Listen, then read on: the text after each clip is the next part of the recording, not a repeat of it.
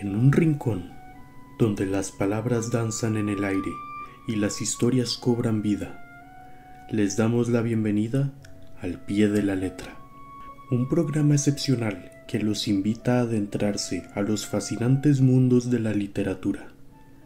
No solo desmenuzaremos los elementos narrativos y literarios, sino que también nos embarcaremos en un viaje emocional explorando las complejidades humanas que emergen de estas páginas impresas.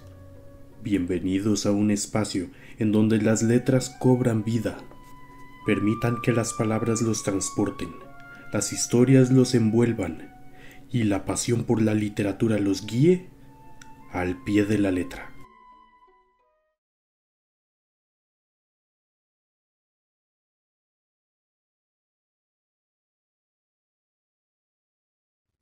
Una vez más estamos aquí al pie de la letra, este proyecto de la Benemérita Biblioteca Nacional Miguel Obregón Lizano. Este proyecto que circula en las redes sociales de, de la Benemérita Biblioteca, en el cual conversamos alrededor de temas que tienen que ver con la literatura. Conversamos alrededor de libros, de, de autores, autoras, que fomentan el pensamiento y la reflexión en torno a, a nuestra identidad nacional. En esta oportunidad me acompaña el doctor Gabriel Baltodano Román, es catedrático de la Universidad Nacional, profesor de la Escuela de Literatura y Ciencias del Lenguaje y coordinador de la maestría en Estudios y Cultura Centroamericana. Eh, don Gabriel tiene una larga trayectoria como investigador en el campo de la literatura y recientemente se ha dedicado a trabajar sobre todo el tema del el humor y de reciente publicación es su libro Risa y Cultura Impresa en Costa Rica 1850-1920. Eh, de pronta publicación o está a punto de salir por, por la editorial de la Universidad Nacional. Muchísimas gracias, Gabriel, por haber aceptado la, invitación a, estar aquí al pie de la letra, al pie de la letra, entre estos libros, entre estos anaqueles, entre estos estantes, aquí conversando. Y hoy traemos un tema particular. ¿Nos podrías eh, plantear hacia, hacia dónde vamos a conversar en esta oportunidad? Muy bien. Bueno, en primer término, agradecerte la invitación. Yo me, me siento desde luego muy a gusto estar en la Biblioteca Nacional eh, y ojalá que sea también una oportunidad para que muchos de, los, eh, de las personas que escuchan este programa, que lo siguen, pues también tengan noticias sobre otros autores y textos que pueden consultar. Claro. Eh, bueno, me parece que podríamos hablar hoy a propósito del papel que ha tenido el humor en la cultura impresa costarricense, sobre todo en la segunda mitad del siglo XIX, que es donde me, me he concentrado en este trabajo. Eh, me parece que podríamos hablar también sobre algunos casos que son particularmente significativos, como el de José María eh, Figueroa, que es una figura fundamental de la cultura costarricense del siglo XIX, pero que curiosamente pues se desconoce su, dimensión como humorista, como satirista, ¿no? Em, incluso se ha desatendido un poco que él nos ha dejado un enorme testimonio sobre lo que vendría a ser la contracara del liberalismo. ¿Verdad? Porque normalmente se nos dice en los manuales de historia que el liberalismo tiene que ver con la modernización del país, tiene que ver con los ideales de progreso, pero lo cierto es que Figueroa tiene un punto de vista muy particular acerca de, lo que esto suponía, ¿no? Entonces creo que podríamos hablar sobre el humor. A mí me gusta utilizar el término risa, claro. que es la forma en la que se designa a esta tradición cultural, literaria, eh, artística, en la que el humor muchas veces tiene que ver con lo político, pero también tiene que ver con la producción de conocimiento sobre la sociedad y sobre su propia dinámica sobre la actualidad. Claro, la risa es un, detonante cultural, si se quiere ver en cierta medida. Muy bien, y eh, la propuesta de, de, Gabriel en esta oportunidad es conversar acerca de este texto de José María Figueroa, que se conoce con el nombre de los cuadernos verde y rojo. Mm. Pero antes de hablar de los cuadernos verde y rojo, que lo tenemos aquí al pie de la letra, eh, me, interesaría que, nos conversaras, Gabriel, cuál ha sido tu trayectoria como, como estudioso, como profesor, como investigador, para, para abordar la literatura. ¿Qué es lo que, es lo que consideras interesante de esto que nosotros trabajamos, que llamamos literatura, y cómo llegaste a trabajar y a, a interesarte en el tema de la risa y en el tema de la cultura impresa. Mm. Bueno, eh, hay un aspecto que siempre es importante recordar. Eh, Costa Rica fue un país que tuvo imprenta eh, pues relativamente tarde, ¿no? Aunque las comparaciones no, no, suelen ser lo mejor en estos casos, ¿no? Pero lo cierto es que nuestra cultura impresa y en consecuencia nuestra, nuestra cultura literaria, nuestra tradición literaria, tienen una dinámica propia, ¿verdad? Y si uno quiere entender la forma en que se organizó, se conformó la literatura de Costa Rica, sobre todo en, sus primeras épocas, en la segunda mitad del siglo XIX, puede que incluso un poco antes, eh, habría siempre que pensar en que no podemos buscar eh, en nuestras bibliotecas, en nuestros archivos, en nuestros acervos, con un ojo, con una mirada que esté determinada por las concepciones tradicionales de literatura. No podemos buscar, por ejemplo, los géneros tradicionales. Si nosotros queremos encontrar novelas, pues claro, ya decía don Abelardo, bueno, la primera novela en 1900 El moto de Joaquín García Monge. Luego vino un querido profesor ya desaparecido, Juan Durán Lucio, claro. ¿verdad? Que nos decía, bueno, Argüello Mora. Pero claro, esa exploración tiene un límite, es, el concepto mismo de novela, es seguir esperando que para que empiece nuestra tradición tiene que haber un, género de esta característica, ¿no? Un libro impreso sobre todo. Un libro impreso, una historia extensa, compleja, que hable sobre la nación, sobre la historia. Yo creo que ese modelo eh, hay que dejarlo atrás porque nos restringe mucho. Hay que pensar en géneros menores, hay que pensar en géneros mixtos, es decir, donde se, se ponen en contacto la voluntad artística, literaria, pero, por ejemplo, sobre todo la vocación del periodista o del hombre de letras. Y cuando uno piensa en esos géneros eh, breves o en esos géneros mixtos, casi siempre termina buscando en la prensa, sí. buscando en los periódicos. Y yo creo que eh, para mí ha sido fundamental esto, concebir a la literatura no como un conjunto de géneros o como un conjunto de normas eh, o de estructuras, sino sobre todo como una serie de prácticas que tienen que ver con todo este ejercicio de la educación, de la cultura, de la política. Y es muy difícil separar a unos de otros. Eh, yo creo que habría que pensar que la literatura costarricense tiene varias formas de ser moderna. Y una de esas formas de ser moderna tiene que ver con hablar sobre lo inmediato, con hablar sobre la actualidad y con tratar de influir a través de los periódicos, a través de la prensa, a través de los semanarios de humor, en lo que las personas de aquel momento pensaban. Y en aquel momento, hacer un poema, contar una historia graciosa, tener un diálogo teatral, eran formas de incidir en la opinión pública. Y ahí tenemos una literatura, digamos, muy importante, muy significativa y otro de los historiadores, mencionaste a, Juan Durán, mencionaste a Abelardo Bonilla, Álvaro, Álvaro Quesada Soto también planteaba que, que muy buena, muy buena eh, cantidad de nuestra literatura se encuentra todavía en la prensa, en la prensa, en los periódicos del siglo XIX, principios del siglo XX, y que todavía está por descubrirse y redescubrirse. Muy bien, ¿cómo llegas a dar con este material de José María Figueroa? Bueno, es muy importante.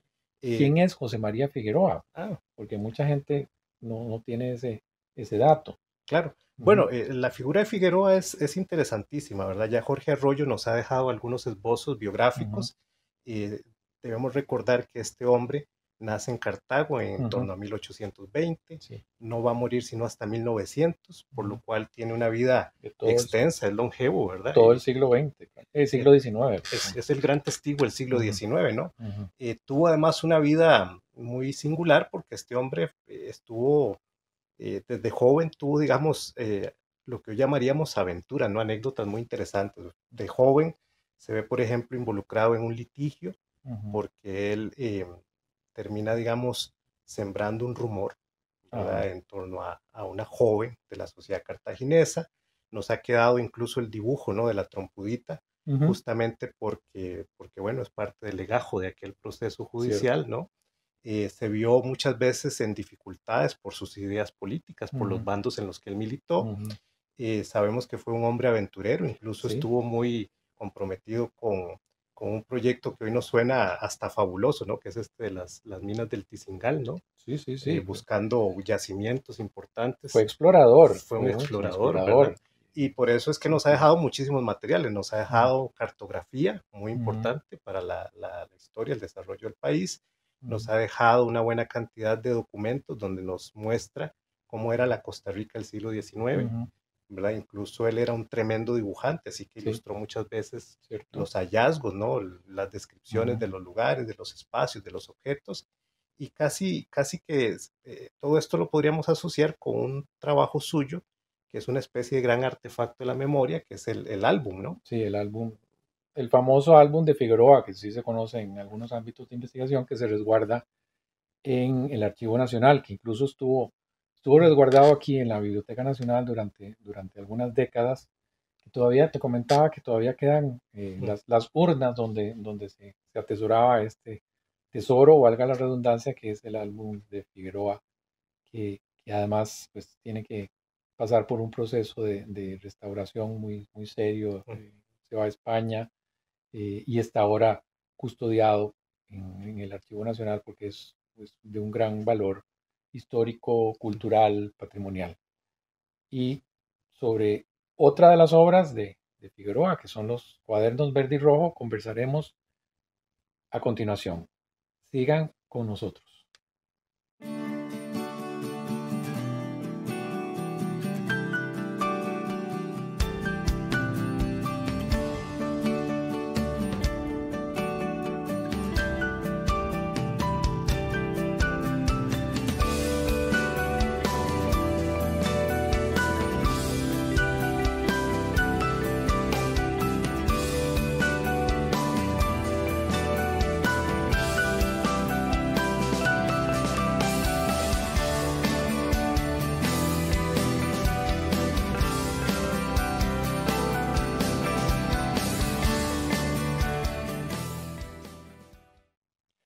Continuamos al pie de la letra. Muchísimas gracias por permanecer aquí con nosotros. En esta oportunidad me acompaña el colega Gabriel Baltodano Román de la Universidad Nacional, que es un gran investigador acerca de temas que tienen que ver con la literatura, la cultura costarricense y alrededor de este personaje que es José María Figueroa, un escritor, un político, un humorista del siglo XIX, que ha dejado un gran legado, un gran legado eh, en el álbum y en los cuadernos, en el que, como mencionaba Gabriel en el segmento anterior, pues hay recopilación de carácter geográfico, de carácter cultural, de carácter incluso de, vida cotidiana también en, esos, en esos textos. Y sobre todo de vida política.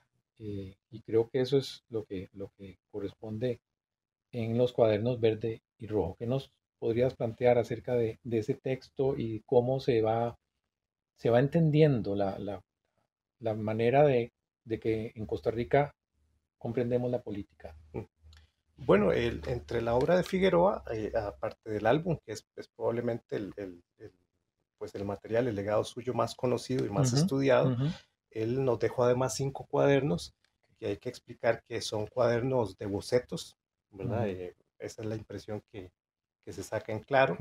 Eh, y de esos cinco cuadernos hay dos que son muy interesantes, eh, justamente el verde y el rojo, porque se refieren al periodo de auge del liberalismo en Costa Rica. El cuaderno verde empieza justamente con la alusión directa al golpe de Estado, al cuartelazo del 27 de abril de 1870, que es el hecho histórico que va a llevar al poder a Tomás Guardia. Y con Tomás Guardia se va a establecer el desarrollo, el auge del Estado liberal en Costa Rica.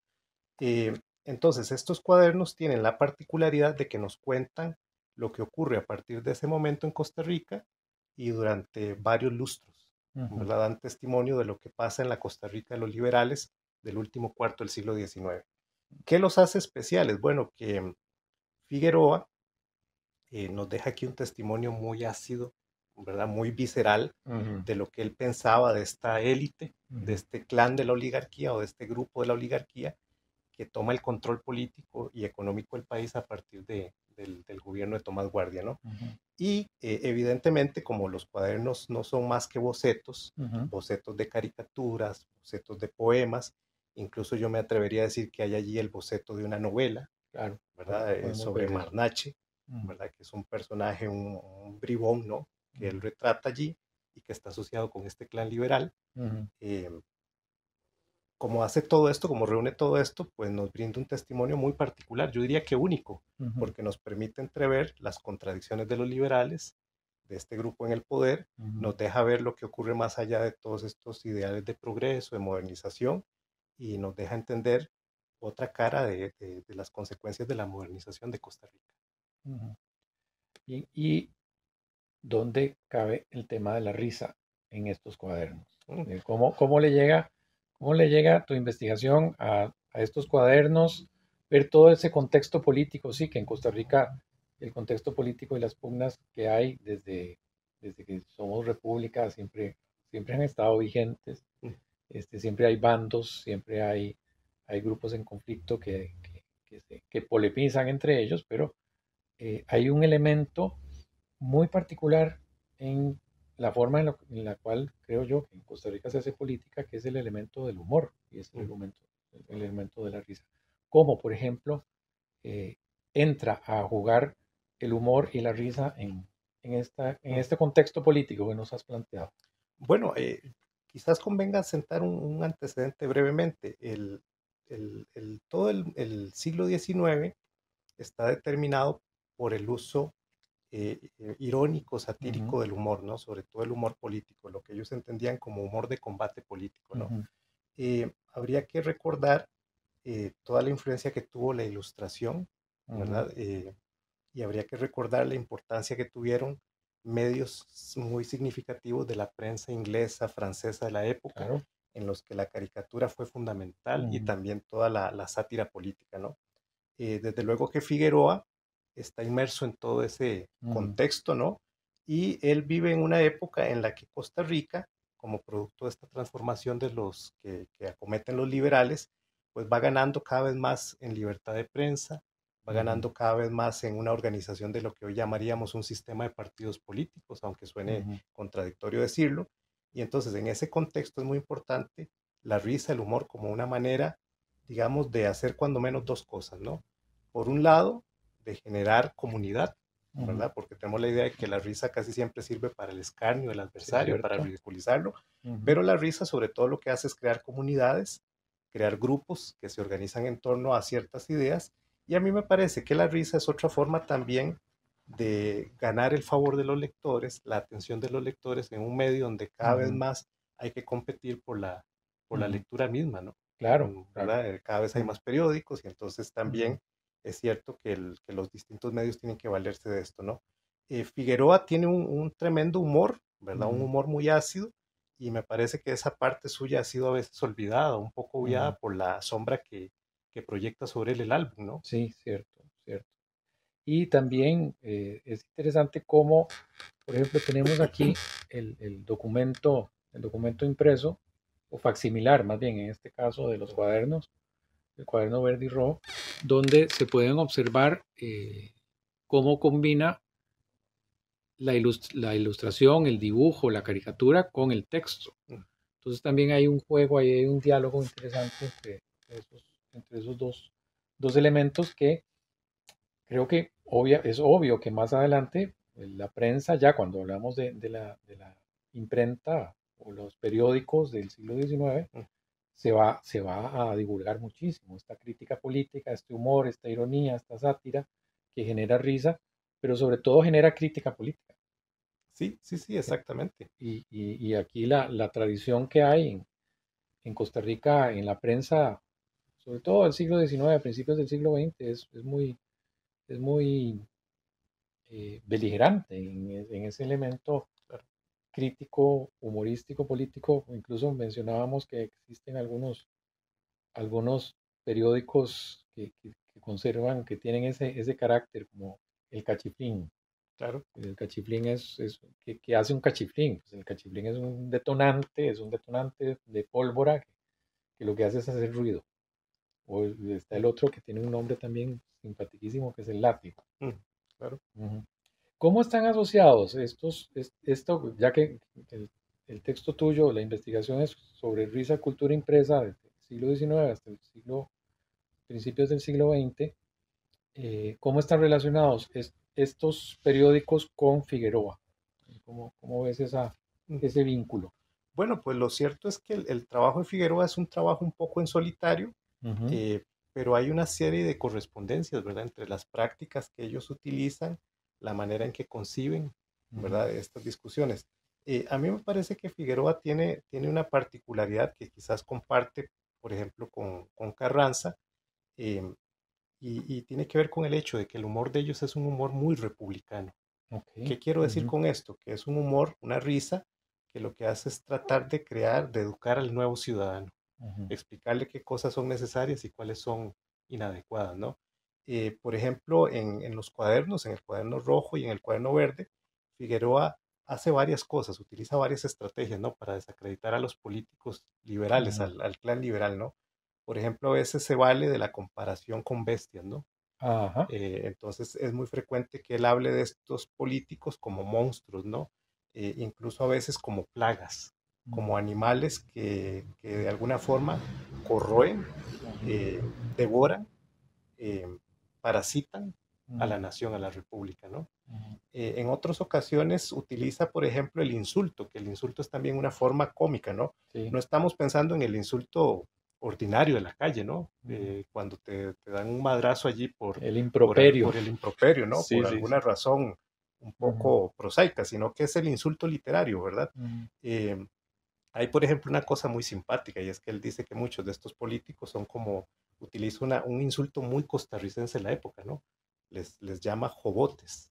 Ah. Porque los jobotes son estas larvas que devoran las raíces, por ejemplo, de una planta como el café, ¿no? Entonces son una plaga, una peste para ese futuro, para ese porvenir eh, de la nación, ¿no? Eh, entonces, hace todo este tipo de cosas, ¿verdad? Los desacredita de diferentes maneras, a través del insulto, a través del rebajamiento, a través de, la, de la bestialización, de la representación de estos eh, grupos como plagas, como pestes, ¿no? Eh, ese, ese tipo de humor es muy común encontrarlo también en los periódicos. Cierto. ¿Verdad? es una manera que hoy en día nos podría parecer eso, muy beligerante, muy combativa, pero era el, tono que ellos utilizaban, era la forma en que empleaban la risa, el humor para tratar de, contraponer tesis políticas, valores, creencias, convicciones, ¿no? Hay una cara quizás más, más eh, preocupante para nosotros hoy en día, por nuestra sensibilidad que es distinta, pero por ejemplo muchas veces para contener los cambios de la modernidad utilizan ese mismo humor para referirse, por ejemplo, a las mujeres. Claro. Aquellas mujeres que tienen la aspiración de profesionalizarse, de intervenir en la vida social, política. Es interesante eso que estás planteando, porque el contexto, el contexto, podríamos llamarlo, términos técnicos, el contexto de la enunciación, en el momento en el que se publica una caricatura o se publica un texto, eh, un texto eh, final, eh, a mitad del siglo XIX, o finales del siglo XIX, principios del siglo XX, el contexto es diferente al actual. Y nosotros lo que, lo que hacemos es leerlo desde, desde nuestra perspectiva actual. Estamos leyendo textos que tienen más de 100 años y, y, los comprendemos de otra manera, pero en su momento era, como, como bien lo decías, era una manera muy, muy frecuente de, de, hacer sátira, de hacer humor. Ahora, ahora nosotros nos puede resultar nos puede resultar incluso a veces hasta, grotesco, llamativo y demás, pero en, en, su contexto eran, eran otros, claro. otros efectos. Claro. Eh, hay una tesis muy, muy interesante de Henri Bergson, el filósofo, que tiene un libro dedicado a la risa. Y entonces él decía que para que el chiste lograra tener efecto, hacía falta que aquellos que ríen compartieran un horizonte, un horizonte moral, ¿no? Eh, y claro, nosotros ya estamos muy lejos de ese horizonte. Eh, entonces, algunas cosas que para ellos eran tremendamente graciosas, para nosotros ya no lo son o, o, no deberían de serlo. Claro que sí. ¿Verdad? Eh, vuelvo un poco sobre eso. Si uno, por ejemplo, analiza los periódicos, una de las grandes corrientes que va a encontrar es un humor misógino, ¿verdad? Que está allí permanentemente. y que es un humor que tenía el propósito de contener los cambios de una sociedad que se modernizaba, sobre todo tratar de mantener a las mujeres en sus roles, en sus facetas tradicionales. Claro. Pues bien, y ya para, para ir cerrando este segmento, me interesaría que desarrollaras algo sobre esta protonovela, que es un, dato curioso. sí, sí eh, bueno, eh, está recogida allí la historia de Marnache, que es un personaje ficticio, no, no, no hay duda de que se refiere a algún personaje de la época, pero no, no tenemos tan claro todavía a quién alude directamente. Y bueno, este personaje se comporta como lo que ellos llamaban un petardista, ¿no? Que es un, un funcionario del gobierno, ha llegado al gobierno, que obtiene una serie de beneficios, de privilegios, que utiliza desde luego a su favor y, a favor de sus allegados. Este hombre empieza así, pero luego se va convirtiendo en un auténtico criminal porque termina cometiendo estafas, engaños, perjurio e incluso termina cometiendo un, asesinato, ¿no? Y de todo esto se libra por su cercanía con, los gobernantes, con el clan gobernante, ¿no? Eh, esa es la historia que, describe, la trayectoria que describe eh, Figueroa en este relato. Es un relato que está acompañado de textos, de textos e imágenes y que los pone en diálogo, ¿no? Eh, podríamos decir que es casi una, una suerte de picaresca moderna, ¿no? De, picaresca moderna que podría, podría estar, estar todavía vigente en, algunos, en algunas maneras de hacer política. Bien. Continuamos al pie de la letra. Sigan con nosotros.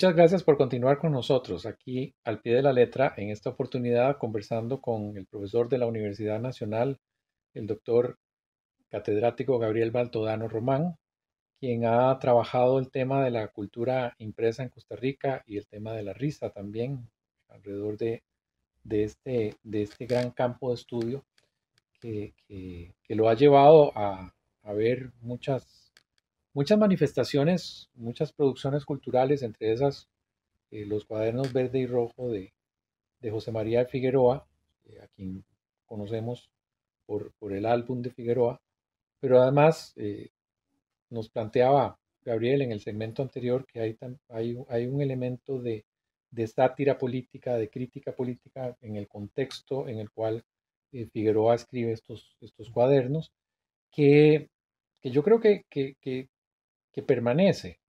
si, bien ha variado, no es el mismo contexto de la enunciación, no son los mismos políticos, no son los mismos partidos políticos.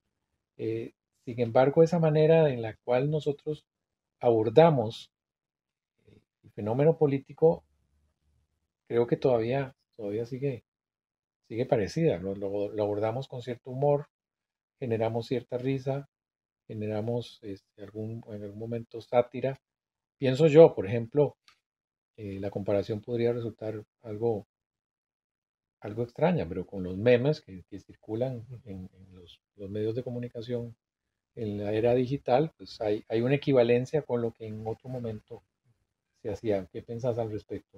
Bueno, eh, tengo, tengo un estudiante, eh, Gabriel Mora, que ha terminado recientemente su tesis de maestría justamente sobre los memes. Ah, los memes que aparecieron en torno al, a la pandemia, ¿no? Ah, y una de las cosas que, que, él descubre, una de las conclusiones importantes, me parece a mí, es que el humor de las redes sociales es un humor profundamente conservador. Ah, vaya. ¿Verdad? Y entonces uno puede encontrar que hay un humor allí que es eh, xenófobo, que un humor que es clasista, un humor que es eh, todavía, digamos, eh, sexista. Patriarcal. Patriarcal. Eh, entonces, esto, eso yo creo que hay que tenerlo muy presente, ¿verdad? Por alguna razón eh, histórica tendemos a pensar que la risa es siempre subversiva, que se ríe para tratar de dejar atrás prejuicios, estereotipos, ideas obsoletas. Eso lo han dicho mucho los filósofos, ¿verdad? Pero en, en, el sentido estricto, cuando uno analiza todos estos productos del siglo XX, del siglo XXI, del XIX, lo que va a encontrar con mucha frecuencia es que tenía un papel mucho más importante el humor conservador. ¿verdad? Porque e, eran formas de reaccionar ante lo nuevo. Y lo que tiene aquella risa de cercana a la nuestra es que está muy instalada en la actualidad. Y como la actualidad tiene que ver con esa frontera que se mueve, con ese temor a lo que va apareciendo, a lo que surge, muchas veces la risa es predominantemente conservadora, tradicionalista. Vaya, vaya, no, no, no, no, no lo veía yo desde esa perspectiva, yo lo entendía como, como una, una, manera propia de, de, la identidad costarricense, simplemente pues, generar burla y generar eh, risa alrededor de, de, un tema tan, tan serio como es el tema político, pero no, no, no lo había visto desde la perspectiva esta de, de, de, reproducir ese sistema, de ese sistema conservador. ¿Y, y, y qué podríamos plantear a, a, a nuestro, nuestro auditorio, nuestra audiencia con respecto a, al trabajo que, que, se podría realizar eh, aquí en la Biblioteca Nacional o con la digitalización de, de, estos, de estos periódicos y de estos materiales que, que, que se atesoran en, estos, en, en, estas instituciones. Bueno, yo, yo creo que hay, hay esfuerzos muy importantes, ¿verdad? Este libro que tenemos aquí apareció en 2010, y yo no lo recuerdo mal. Uh -huh. Esta edición facsimilar de Carlos Porras. Eh, el Archivo Nacional acaba de publicar hace cosa de unos pocos meses ediciones digitales de los cinco cuadernos de Figueroa. Uh -huh. eh, afortunadamente la Biblioteca Nacional, el Sistema Nacional de Bibliotecas ha venido digitalizando nuestros claro. periódicos del 19, eh, pero bueno, queda muchísimo trabajo por hacer, muchísima investigación. Uh -huh. No tenemos ni siquiera resuelto, resueltas tareas elementales, por ejemplo, índices para saber quiénes escribían, sobre qué escribían. Eh, hay mucho que hacer, ¿verdad? Bases Entonces, de datos. Bases de datos. Yo le insisto mucho a los estudiantes universitarios, ¿verdad? Uh -huh. Para que eh, se animen uh -huh. a tomar estos temas como temas de sus trabajos, no uh -huh. solo los estudiosos de la literatura, sino los estudiosos de la historia, de la cultura, el arte gráfico, porque van a encontrar verdaderos tesoros. Eso es, exactamente. Y nosotros aquí, al pie de la letra, nos encontramos siempre con, con tesoros por descubrir y redescubrir, y sobre todo por repensar o, o entender de otra manera la literatura costarricense, más allá de los modelos que, que, tradicionalmente hemos, hemos tenido y hemos reproducido, sino que también lo has planteado muy bien en esta oportunidad. La literatura costarricense va muchísimo más allá de los géneros tradicionales y lo que tradicionalmente nos han planteado que es la literatura costarricense. Gabriel, muchísimas gracias por, por acompañarnos aquí al pie de la letra en este proyecto de la Benemérita Biblioteca Nacional. Eh, muchísimas gracias a quienes nos siguen en nuestras transmisiones y también las, las, las difunden, las, las, comparten y muchísimas gracias también a la Biblioteca Nacional y a nuestro equipo de producción. Nos vemos en un próximo programa.